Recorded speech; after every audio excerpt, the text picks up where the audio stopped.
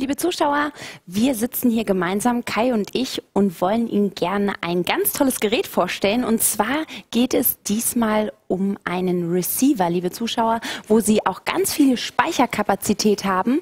Und was das Gerät noch alles mehr kann, das verrät Ihnen jetzt mein lieber Kollege Kai. Okay, dann tue ich das, Jana. Also, wir haben am 1. November auf HD TV umgestellt. Das bedeutet also für Sie, uns endlich gestochen scharf, wirklich so zu sehen, wie wir schon seit Anfang an produzieren.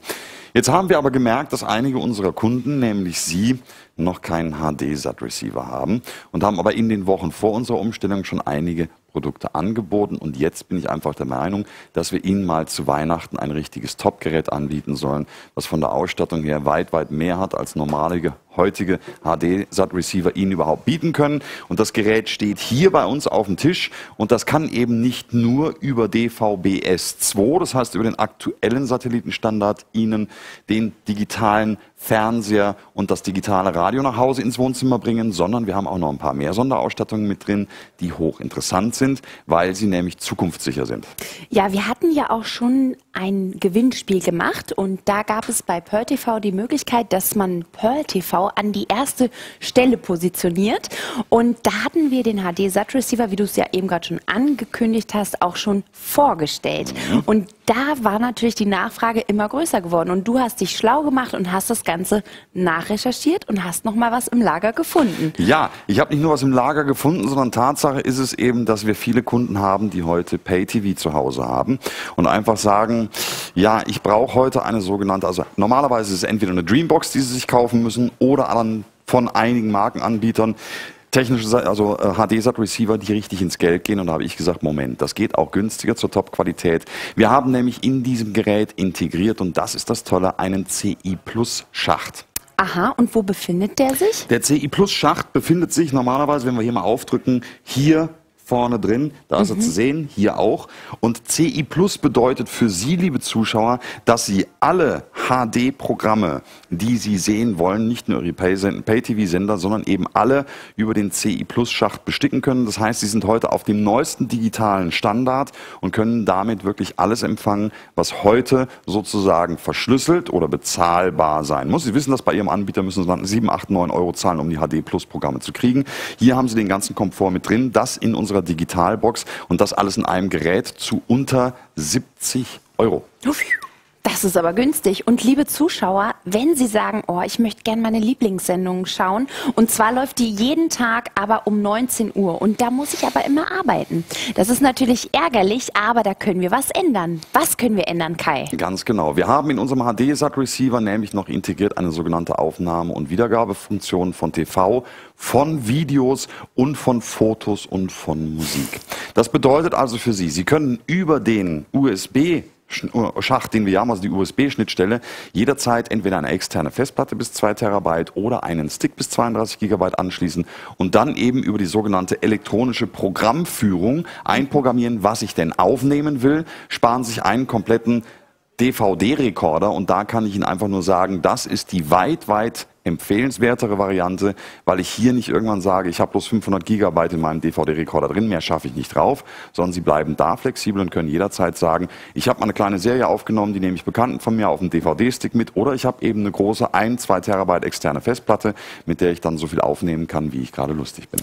Aha, und jetzt schauen wir uns doch mal das Gerät, jetzt fahren wir gerade mit der Kamera entlang der ganzen Knöpfe und jetzt würde ich das Gerät gerne nochmal umdrehen, lieber Kai, denn dann kannst du uns vielleicht auch nochmal erklären, was wir hier alles noch für Anschlüsse haben, weil ich sehe hier auch noch ein altertümliches SCART-Anschluss. Ganz genau. Ich biete deswegen Ihnen, liebe Zuschauer, den SCART-Anschluss an unseren Digitalbox immer noch mit an, weil wir viele Mails bekommen haben von traurigen Kunden, die gesagt haben, Leute, wir würden euch gerne über den Fernseher weitergucken. Wir haben aber leider Gottes keinen HD-fähigen Fernseher, sondern wir haben noch eine alte Röhre zu Hause.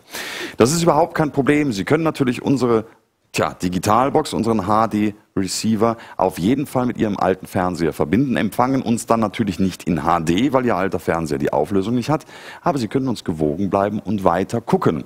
Insofern denken wir natürlich schon sehr genau an Sie. Und da kann ich Ihnen nur sagen, wenn Sie jetzt sagen HD-Sat-Receiver und Sie haben eine Satellitenschüssel auf dem Dach oder Sie wohnen zum Beispiel jetzt in einem 4-6 Mehrfamilienhaus, wo auch eine Satellitenschüssel mit einem Verteiler im Haus installiert ist, dann können Sie uns jetzt trotzdem gucken, wenn Sie dann nächstes Jahr oder vielleicht dieses Jahr zu Weihnachten vorhaben, sich dann einen HD-fähigen Fernseher zu kaufen, dann können Sie das später natürlich über unsere HDMI-Schnittstelle verbinden. Das ist ja sozusagen der digitale Nachfahre vom SCART-Kabel. Und dann ist das auch kein Problem. Damit kriegen Sie uns aber jetzt wieder, müssen nicht im Internet auf Ihrem PC gucken, sondern haben hier mit unserer Digitalbox eben die Möglichkeit, uns trotzdem noch empfangen zu können. Und das, und das ist auch für die Kunden wichtig, die es haben, eben mit dem C-Plus-Schacht, wo Sie jederzeit Pay-TV gucken. Genau, hier, und hier unten. Ist ein Warten Sie mal, da, ein USB-Anschluss. Ganz genau, und das ist der USB-Anschluss, auf den ich vorher schon zu sprechen gekommen bin. Mit dem haben Sie eben die Möglichkeit, externe Festplatten oder USB-Sticks anzuschließen oder natürlich auch abzuspielen. Das ist natürlich kein Problem. Wenn Sie Musik drauf haben, können Sie das auch machen. Und daneben sieht man jetzt Video, Audio links, Audio rechts. Und das sind unsere sogenannten Audio-Ausgänge, mit denen Sie zum Beispiel Ihren HD-Receiver mit Ihrer klassischen HiFi-Anlage auch noch verbinden können. Wenn Sie dann sagen, Sie möchten Digitalradio eben über Satellit hören, können Sie das über Ihre klassischen Heimlautsprecher auch machen. Damit verbinden Sie unseren Audio-Ausgang, Cinch weiß, Cinch rot, mit einem AUX-Eingang an Ihrem bestehenden Verstärker zu Hause. Und dann können Sie eben in CD-Qualität zu Hause eben auch noch über 400 digitale Sender hören. Radio. Genau, und wie sieht das eigentlich aus, wenn jetzt gerade die Zuschauer neu eingeschaltet haben? Wie viele Speicherplätze haben wir denn für den Fernseher? Also wir haben, es werden pro Tag insgesamt im digitalen Fernsehen, kann man mal davon ausgehen, zwischen 12, 15, 20 Sender pro Tag weltweit mehr. Jetzt muss man sich mal vorstellen, was da los ist. Wir haben hier 6000 Programmspeicherplätze. Das heißt, sie sind für die nächsten zehn Jahre auf jeden Fall safe, weil jeden werden sie nicht gucken. Sie haben natürlich auch die Möglichkeit, sich diese eine vorprogrammierte Programmliste so einstellen zu lassen, damit das komfortabel komfortabel für Sie ist. Sie können es aber natürlich auch manuell machen, wenn Sie sagen, nee, also Pearl TV HD ist mir auf Kanal 97 viel zu weit hinten, ich möchte meine Lieblinge irgendwo auf 1 bis 10 haben, können Sie das natürlich ohne Probleme auch machen. Sie können natürlich acht verschiedene Favoritenlisten programmieren, was auch selten ist, dass ich wirklich sage, ich habe zum Beispiel jetzt den einen Bereich Sportkanäle, den anderen habe ich Unterhaltung, den dritten habe ich Dokumentation. So können Sie das alles komplett machen und Sie haben sogar zehn frei programmierbare Timerplätze für den USB-Stick und für den Videorekorder. Das heißt, Sie können bis zu zehn verschiedene Dinge insgesamt aufnehmen, vorher einprogrammieren und dann sagen, das nimmt mir das Gerät dann irgendwann automatisch Aber nicht auf. gleichzeitig, oder? Gleichzeitig nicht, da bräuchte ich einen sogenannten Twin-Tuner. Aber nacheinander, wenn ich die Sendung habe, kann ich das jederzeit aufnehmen. Das ist ja super. Das ist natürlich eine schöne Sache, liebe Zuschauer. Hier sehen Sie auch nochmal unsere Fernbedienung, die damit zugeliefert wird. Und ich finde es ist auch schön in diesem schwarzen Lack. Das sehen wir jetzt hier vorne. Und es ist auch sehr edel gehalten. Das heißt, es passt auch sehr gut in Ihre Vitrine, gerade wenn Sie unterm Fernseher das schick, elegant ähm, verstecken möchten oder vielleicht auch sagen, nö, sieht ja schick aus, ich positioniere das direkt unterm Fernseher. Man braucht ja jetzt keinen, ähm, normalerweise braucht man ja einen DVD-Player noch, den man noch dazu legt. Und das brauchen wir hierbei nicht. Also, wenn ich jetzt sage, ich habe natürlich alte DVDs zu Hause, die ich gerne noch gucken möchte, dann haben Sie entweder die Möglichkeit, dass Sie sagen, ich packe mir die komplett auf den PC als Datei, spiele die also genau. also über mein Laufwerk ein und habe die dann sozusagen die Möglichkeit, die wieder auf den Stick zu ziehen. Ansonsten haben viele von uns den DVD-Spieler, den schließen sie automatisch dann in ihren Fernseher an und dann kann ich auch normal DVD gucken. Aber ich habe den Vorteil hier, alle Medien, die ich heute auf dem USB-Stick oder auf der Festplatte habe, und das werden immer mehr Menschen, weil heute sich jeder eine sogenannte Mediathek zu Hause baut. Das heißt also das eine stimmt, Festplatte ja. mit 1, 2, 3, 4 Terabyte, die ist dann vielleicht so noch hausintern äh, ins Netzwerk integriert, das heißt über WLAN. Dann kann ich eben heute sogar schon kabellos das alles streamen hin und her oder habe eben auf der Festplatte meine ganzen Filme Film und alles drauf. Weil viele von Ihnen arbeiten heute schon mit den sogenannten Videotheken übers Internet, wo ich mir die Filme downloaden kann. Dann brauche ich natürlich keine DVD mehr, das ist klar. Absolut richtig. Und wie sieht das aus mit den Kindern? Die schauen ja auch gerne mal über die Stränge und schauen dann doch eigentlich sollen sie nur eine Stunde gucken, auf einmal wollen sie zwei oder drei Stunden schauen. Wie ist das? Gibt es da eine Sicherung? Da haben wir den Riesenvorteil, wir haben wirklich die Kindersicherung hier integriert und zwar für die Programme und für das Menü. Das bedeutet, wenn Menüstrukturen drin sind, wie zum Beispiel Einstellungen, die Sie vorgenommen haben, dass da keiner drauf kann, können Sie das für die Kinder sperren und Sie können sogar klipp und klar sagen, die und die Programme ab der und der Uhrzeit, das ist alles einprogrammierbar, werden nicht mehr geguckt, weil wir die Kindersicherung drin haben. Finde ich auch sehr gut, weil viele Kinder heute nämlich ganz schön lange vorm Fernseher hängen, vor der Playstation, vor dem PC, haben dann am Schluss viereckige Augen. Und das muss auch nicht sein. Und bis zu einem gewissen Alter muss man natürlich auch gucken, was denn so geguckt wird. Und da kann schon öfter mal was schiefgehen mit Albträumen nachts oder sonstigen Dingen. Deswegen oh, finde ich so eine Kindersicherung ja. sehr, sehr, sehr gut. Und die ist eben auch eingebaut. Ja, die ist essentiell, würde ich sagen. Und wie ist das eigentlich mit dem Stromverbrauch? Ist das ein, ein energiesparendes Gerät?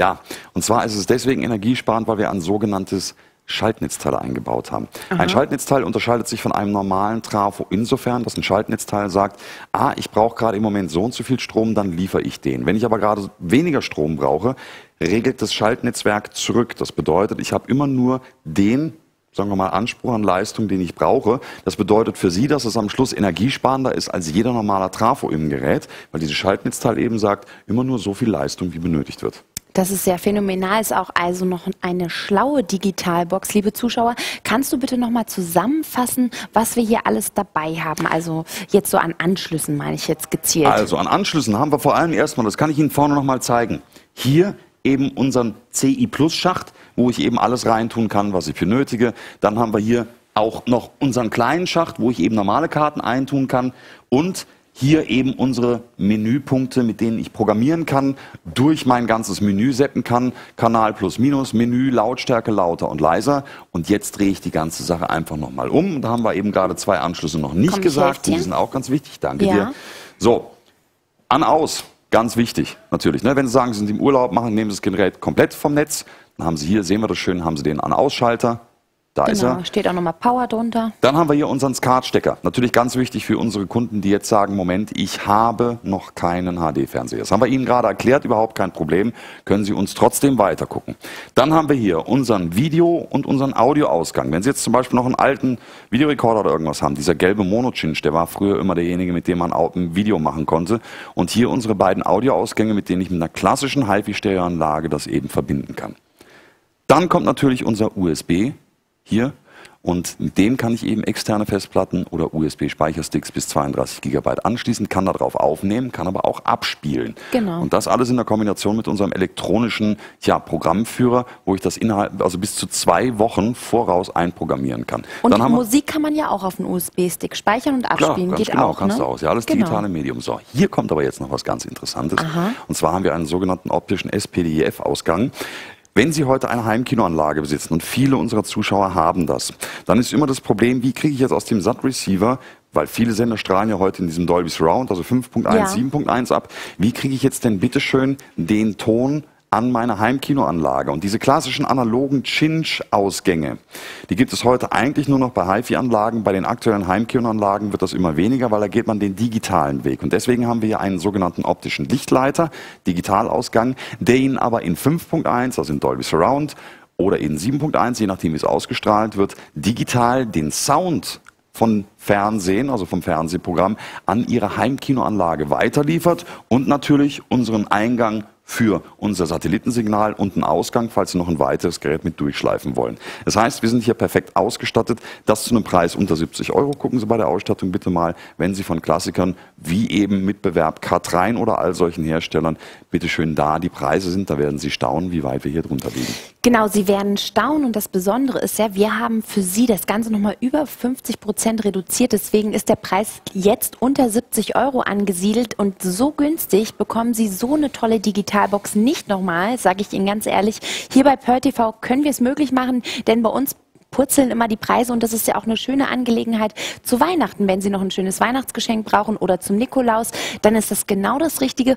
Und wir sagen Ihnen auch nochmal die Bestellnummer, das ist die PX 9879 und die 569, liebe Zuschauer. Genau. Und das kriegen Sie alles natürlich unter altbewährten Telefonnummer 0180 51, 51, dreimal die zwei. Und wie Sie jetzt hier auf dem Foto auch sehen, äh, schön sehen können auf unserem Einblender, wir haben so ein ja, metallic-blaues Display. Das sieht natürlich durch dieses Klavierlack schwarz von der Oberfläche her auch super edel aus. Das ist also auch ein Hingucker und das kann man eben wunderschön zu Hause auch natürlich so drapieren, dass es gut aussieht, hatte Gianni ja gerade auch gesagt. Fernbedienung, Batterien und die deutsche Anleitung kommen natürlich im Paket zu Ihnen nach Hause. Wir können Ihnen bloß sagen, schlagen Sie zu. Wir haben 1800 Stück auf Lager. Denken Sie mal bei 52 Millionen Haus Haushalten in Deutschland, das ist nicht viel, also greifen Sie zu. Und sind Sie vielleicht vor Weihnachten auch schon mit uns in HD unterwegs? Absolut. Wir produzieren in HD, liebe Zuschauer, extra für Sie, damit Sie uns gestochen scharf sehen und damit Sie auch zu Hause das Kino-Feeling erleben können. Sie können natürlich auch Ihre Musik hierüber abspielen lassen. Das haben Sie ja gerade auch von Kai gehört. Und deswegen sollten Sie jetzt ran ans Telefon gehen und bestellen, damit Sie in Zukunft wirklich tolle Filme genießen können. Und falls Sie keine Zeit haben, Ihre Lieblingssendung zu schauen, weil Sie unterwegs sind, dann können Sie die natürlich auch über den USB-Stick aufnehmen lassen. Also ran ans Telefon und viel Vergnügen. Anrufen, genau.